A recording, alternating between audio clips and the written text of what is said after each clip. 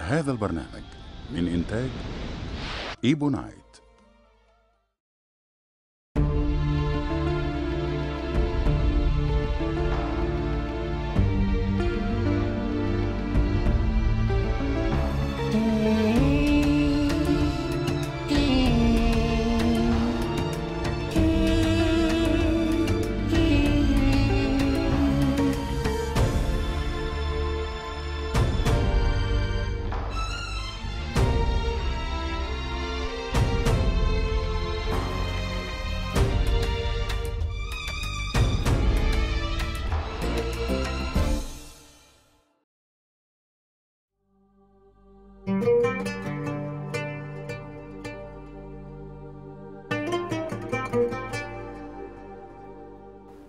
بسم الله الرحمن الرحيم. الحمد لله رب العالمين. أهلا بيكم وحلقة جديدة.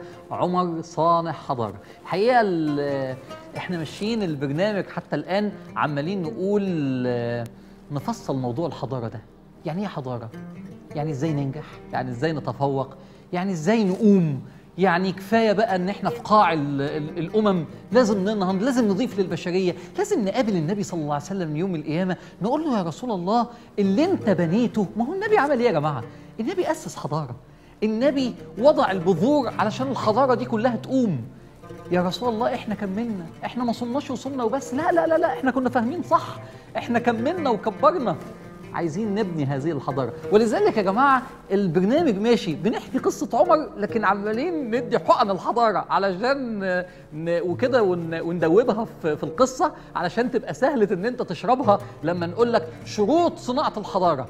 صانع الحضارة ده البني آدم اللي هيعمل الحضارة ده فيه إيه؟ فيه سبع شروط ونقوم عاملين سبع حلقات من قصة عمر ونقول شروط صانع الحضارة بيتحرك بيجمع كل قواه على الفكرة آه، جامع صفات عديدة للتميز مخلص للفكرة المرونة الإنسانية شروط وبعدين قمنا جايين قلنا طيب عشان بقى الحضارة تقوم ده صانع الحضارة الشخص. طب عشان الحضارة تقوم لازم يكون فيها خمس شروط وقمنا عاملين خمس حلقات برضه من جوه قصة عمر. وقلنا الانتماء جيل ينتمي للفكرة. وقلنا تكامل الطاقات. وقلنا إسعاد البشر. وقلنا تجمع الطاقات دون إقصاء. وقلنا دور المرأة. فهمتوا إحنا بنعمل إيه؟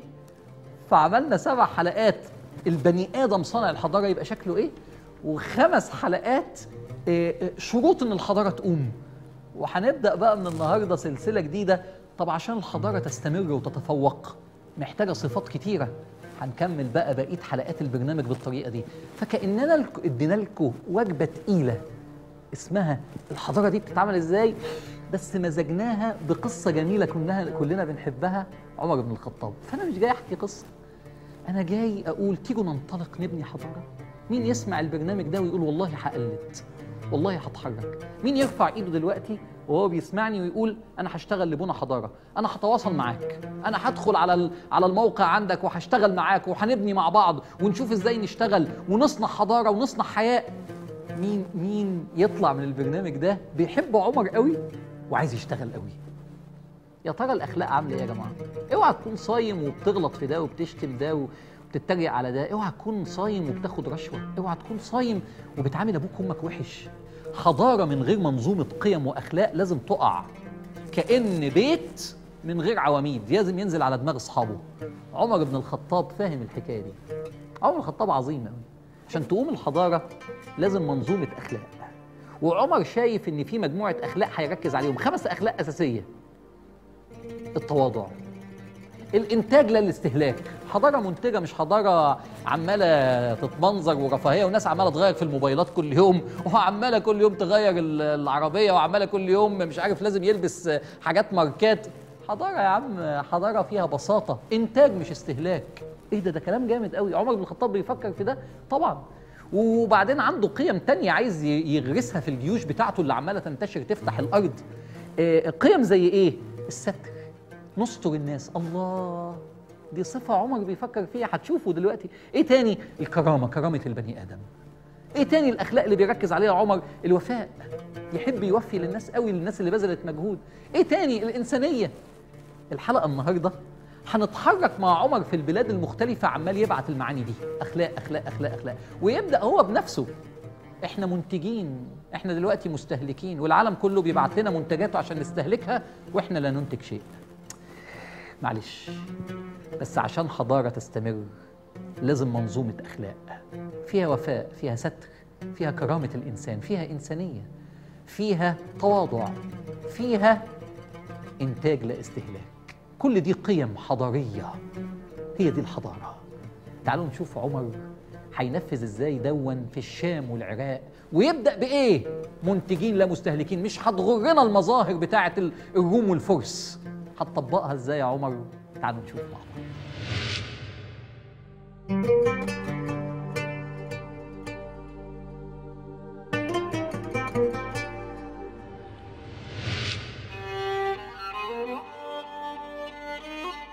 عمر فاهم إن الحضارة بتبنى على الأخلاق. يا ريت نبقى فاهمين كده. يا ريت يا جماعة نحسن أخلاقنا ونبقى عارفين إن أول حاجة هتزق النهضة في بلادنا هي كلمة الأخلاق. الأخلاق يا جماعة. و... و... وإن أنا طول ما أنا بتحرك بأخلاق وده بيتحرك بأخلاق وده بيتحرك بأخلاق ممكن يبقى في نهضة وممكن تحصل تتبني حضارتنا مرة تانية. لكن والله لو ما فيش أخلاق ولا ألف مليون جهد ولا فلوس ولا أي حاجة ممكن تقوم حضارة مش قايمة على أخلاق. عمر عايز يبعت رسالة للفرس والروم. إحنا عندنا منظومة قيم. إحنا إحنا مش قوة عسكرية جاية تحارب قوة عسكرية زي ما أنتوا كنتوا بيحصل بينكم قبل كده. لأ إحنا حضارة عندها قيم جاية تواجه حضارتكم. فاسمعوا ليها. فعمر بن الخطاب يجد إن أحسن حل تحس إنه غيران على رسالته وعلى قيمه الأخلاقية وعلى منظومة الحضارة بتاعته. حتى وهو بيواجه أعدائه. فيقرر يرسل وفود. هيبعت وفد يقابله كسرى. الوفد مشكل من 14 شخص. انتقاهم عمر انتقاء. فيهم شباب فيهم شيوخ. فيهم صحابة فيهم تابعين. فيهم بقى مين؟ فيهم المغيرة بن شعبة الصحابي وفيهم النعمان بن مقرن وفيهم ربعي بن عامر وفيهم ابن سهيل بن عمرو خطيب قريش. بس شاب صغير عدي بن سهيل. ويبعت دول ويقول لهم كلمة جميلة جدا إننا لا نغلب أعداءنا بعدد ولا عدة. الموضوع مش موضوع قوة عسكرية ولكن نغلبهم بهذا الدين وهذا الخلق.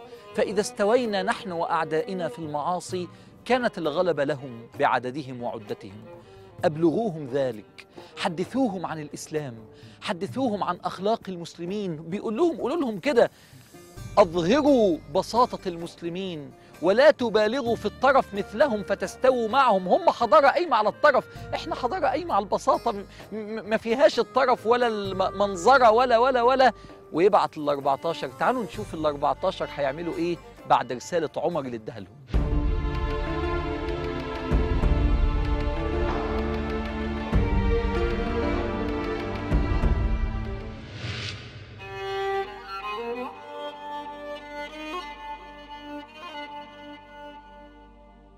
يبعتهم لفين؟ يجوا لمثل هذه الأماكن اللي أنا بصور فيها. ابعتهم على كسرى في, بلاد فارس في العراق. يقابلوا كسرى يدعونه إلى الله.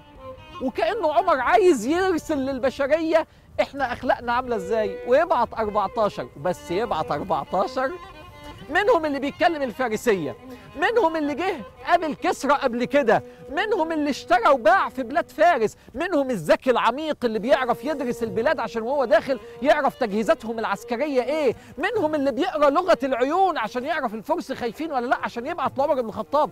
باعت 14 واحد. إيه إيه سيدنا عمر ده؟ قيم أخلاقية بس مش معنى قيم أخلاقية إن إحنا ناس أنا آسف ناس كده تعبانة ومش فاهمة دنيا ودراويش.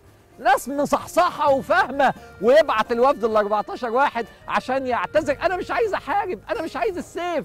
أنا عايز أعرض عليه الإسلام ويقع ويروحوا ال 14 ويقابلوا كسرى ويقف كسرى ويتهجم عليهم. كسرى انتهت صلاحيته خارج التغطية زي ما بيقولوا في التليفونات. مش فاهم. يكلموه عن ربنا ويقول لهم أنتوا تساووا إيه؟ من أنتم؟ هو عشان انشغلنا في حروبنا مع الروم شوية. اقترأتم علينا؟ ويردوا عليه الصحابة يقولوا له بعثنا الله لنهدي الناس بالأخلاق.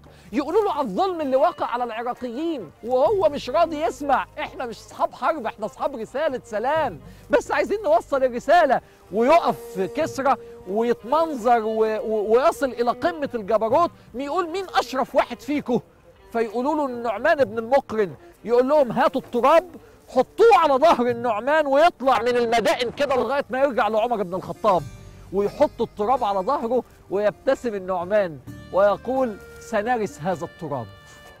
مش انت حطيته على ظهري؟ شكرا هنورثه. فيا شاء الله إن آخر معركة مع الفرس اللي كان قائد انتصر فيها نعمان بن المقرن وعمر بن الخطاب قال يكون القائد نعمان مش حطوا التراب على ظهره هينتصر. إحنا صح إصحاب رسالة أخلاقية لكن فاهمين دنيا ومصحصحين في الدنيا دي كانت أول مجموعة أرسلها عمر بن الخطاب لكن رجعت بمعلومات كتيرة. كسرى والفرس حواليه عاملين إزاي؟ الوضع عامل إزاي؟ دي كانت أول مجموعة وأول قيم أخلاقية بعتها عمر لجيوشه. تعالوا نكمل مع بعض.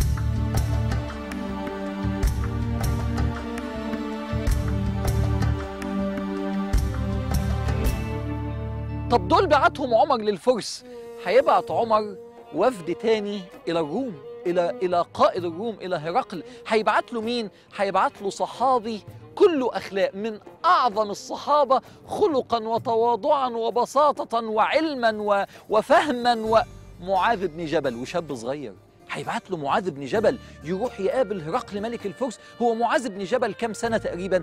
32 33 سنة. 32 سنة 33 سنة هيبعتوا عمر يقابل ملك الروم هرقل. عمر بن الخطاب عارف هو بيبعت مين وعارف لما يروح معاذ بن جبل أثره هيكون إيه. تعالوا نروح ونشوف معاذ بن جبل هيعمل إيه هو كمان.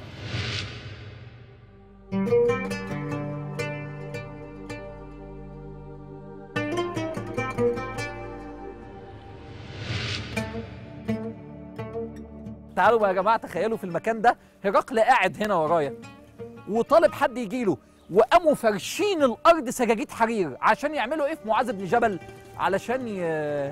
يعني يدخل يتهز. عارف لما تخش فندق كبير و...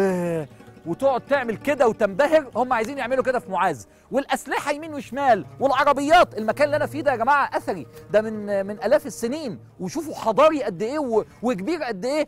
بس بقى وأكل يمين وأكل شمال وجواري واقفه يمين وجواري واقفه شمال. أنا عشان أوصل للمكان ده ممر طويل من الأعمدة الرومانية وممر طويل من الأعمدة الرومانية.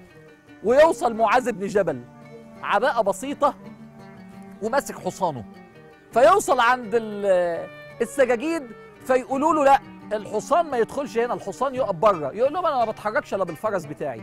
ويدخل ماسك الفرس بتاعه ويوصل لغاية هرقل ويطلع السلالم ويقف قدام هرقل. فيقول لهم هرقل حطوا له الوسائد من الحرير حطوا له المخدات الحرير. فقال لا داعي إحنا حضارة مش حضارة طرف إحنا حضارة إنتاج. قام قلع العباءة بتاعته ومكومها وحاططها تحته. دي الوسادة بتاعتي مش محتاج تحط لي حاجات فخمة. وبدأ يبص هرقل في عينين سيدنا معاذ بن جبل. عادي جدا ولا بيبص على الحاجات دي. لا جارية من الجواري ملت عينه ولا الذهب والفضة ملأ عينيه ولا انبهر. عادي جدا. فقال له هرقل من أنتم؟ قال نحن أمة تزرع ثم تأكل مما تزرع ثم تصنع ثم تأكل مما تصنع. إحنا أمة منتجة. عمر بن الخطاب موزي مو- موصي معاذ بن جبل. قال لا تنبهر بما سيفعلونه لك. أنا عارفهم هيعملوا معاك إيه. دي حضارة طرف وس... يا جماعة إحنا أمة منتجة.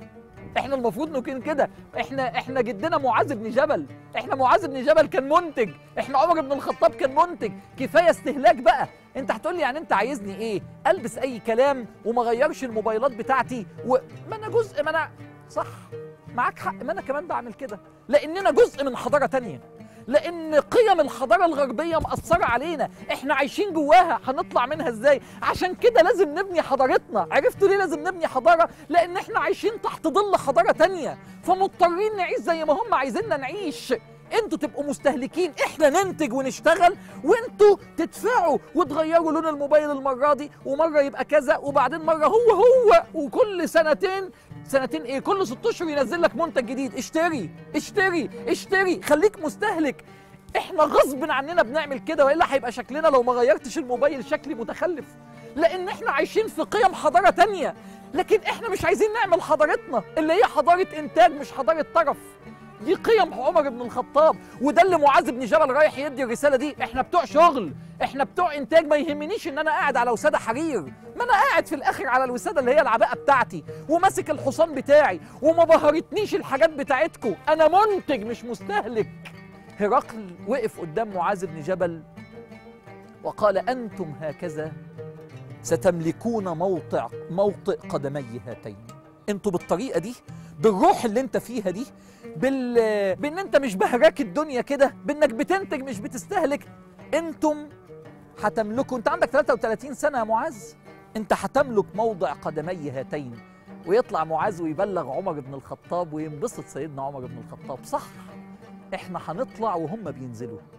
يا ترى إمتى هنبدأ نطلع ونبني حضارتنا؟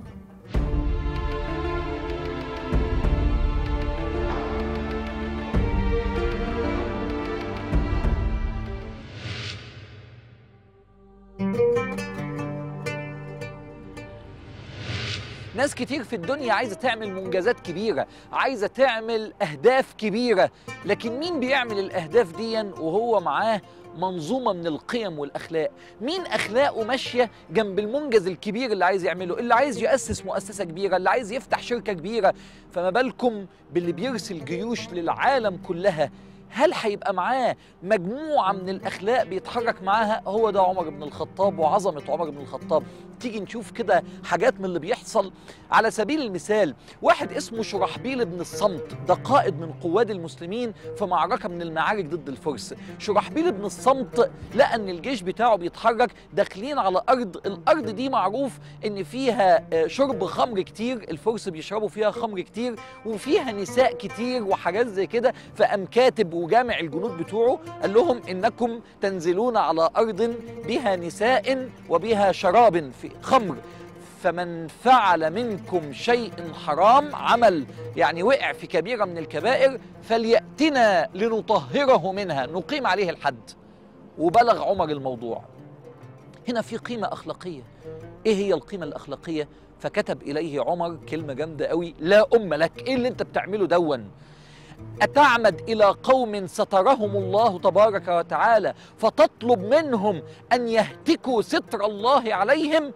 احفظ كرامة جنودك لا تفعل ذلك. ويقوم معمم قرار غريب جدا عمر بن الخطاب. أنت إزاي تطلب منهم إن هم يفضحوا نفسهم؟ مش في قيمة اسمها الستر؟ كرامة البني آدم طالما ما فعلهاش واكتشفت أو في الملأ فانت ما تطلبش منهم ان هم يعملوا كده ده أمر يخصهم. واحد من المسلمين في أرض المعركة أبو موسى الأشعري قائد من قواد المسلمين آه، بيوزع الغنائم فاداله حقه. جندي عادي بس جندي كان باذل مجهود جامد فلسه له حق. فابو موسى الأشعري قال له لا خلاص اديت لك حقك. اديت لك كتير.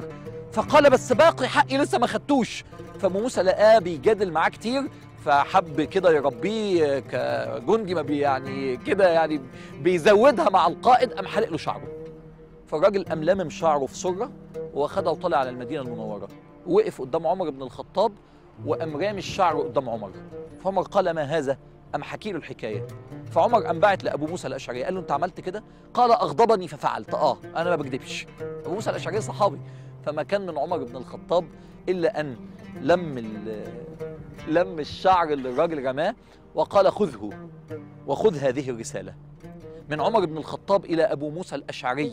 قائد المسلمين في معركة كذا وصاح وصاحب رسول الله صلى الله عليه وسلم العدل عدل.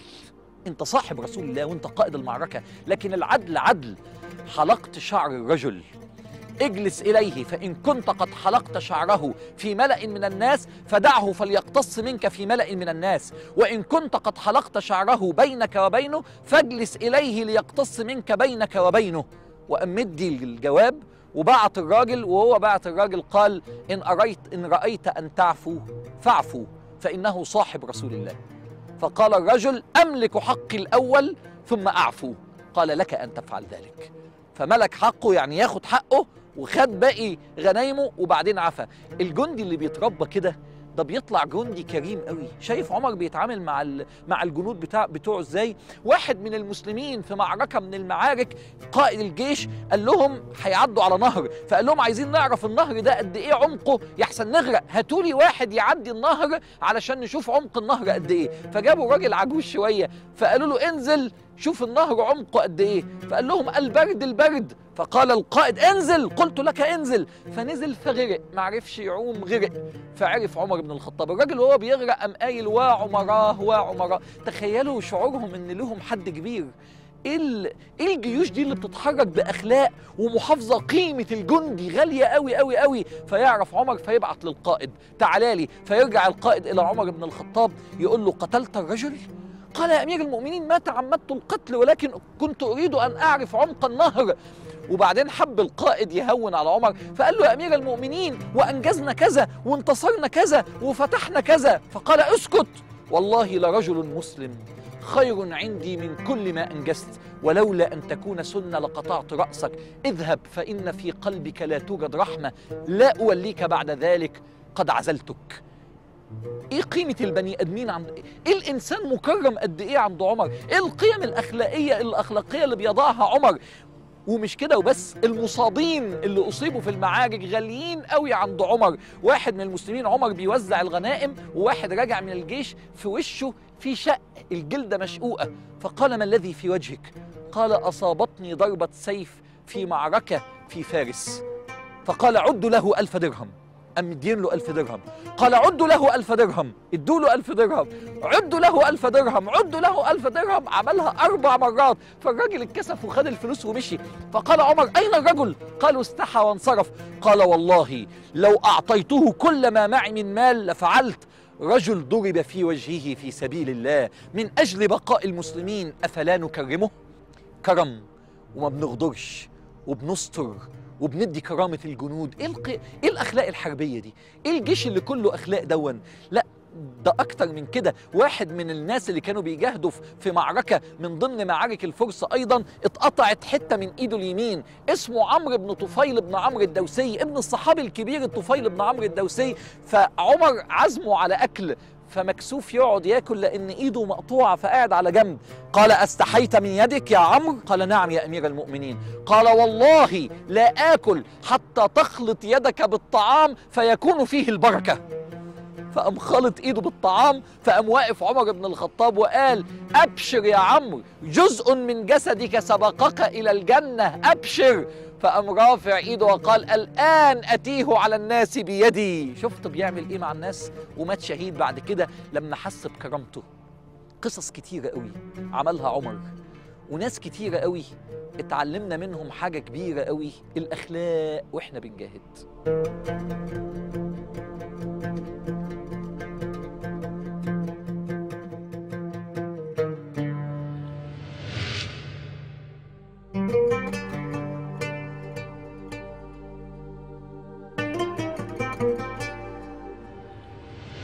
يقول النبي صلى الله عليه وسلم توشك أن تتداعى عليكم الأمم كما تتداعى الأكلة إلى قصعتها. قالوا أمن قلة نحن يومئذ يا رسول الله؟ قال لا أنتم يومئذ كثير ولكن غثاء كغثاء السيل. عارفين الريم ال- القش اللي بيبقى على وش الموجة؟ ولكن غثاء كغ- كغثاء السيل. ولا ينزعن الله الهيبة من قلوب أعدائكم ولا يقذفن في قلوبكم الوهن. قيل ما الوهن يا رسول الله؟ قال حب الدنيا وكراهية الموت. عمر بن الخطاب كان عارف فين المشكلة. حضارة بدون قيم أخلاقية. حضارة من غير أخلاق ما تبقاش حضارة هتقع بسرعة. عمر بن الخطاب فاهم إن الحضارة لو قامت حتى لو انتصرت وكانت قوية قوي لكن من غير أخلاق ومن غير قيم مش ممكن تستمر. عنصر أساسي لاستمرار الحضارات الأخلاق. الأخلاق. عرفتوا عمر كان ليه مهتم بموضوع الأخلاق؟ في كل تصرف عمال يدور الأخلاق. عمر أنا ب... أنا أقدر أقول إن الوحيد في تاريخ البشرية اللي عمل إمبراطورية من الشرق للغرب تجمع بين الغنى الشديد اقتصاد قوي جدا ميزانية الدولة قد ميزانيات دول عالمية الآن. تخيل في ذلك الوقت. ومع ذلك حط قيم الأخلاق معاها. محدش عمل الحكاية دي إلا أنت يا عمر. بتربية النبي صلى الله عليه وسلم. يا جماعة بص على المسجد النبوي. بص عليه كويس ممكن تملى عينك منه؟ املى عينك قوي. الله يخليك قاوم للانهيار. انهيار إيه؟ انهيار الأخلاق. المكان دون مش بس للصلاة والصوم. المكان دون عشان الحضارة تطلع عشان نرجع يا جماعة. لازم الأخلاق ترجع. املى عينك من المسجد النبوي. تحبه نفسك تيجي؟ بتعيطي عشان تيجي؟ بالله عليكي خدي نية. هحافظ على الأخلاق في بيتي في شرعي في النادي اللي أنا فيه في ولادي. يا رب جبني أكون على خطى النبي وأكون على خطى عمر لما همسك في الأخلاق. من غير أخلاق مفيش أمل. عليه العوض لو راحت الأخلاق. امسكوا في الأخلاق لو بتحبوا رسولكم لو بتحبوا عمر بن الخطاب. بكرة عمر بن الخطاب هيودع الجيش وهو طالع من ثنية الوداع. وهنروح المكان اللي انطلق منه الجيش واللي عمر بن الخطاب ودع فيه الجيش أشوفكم بكرة إن شاء الله.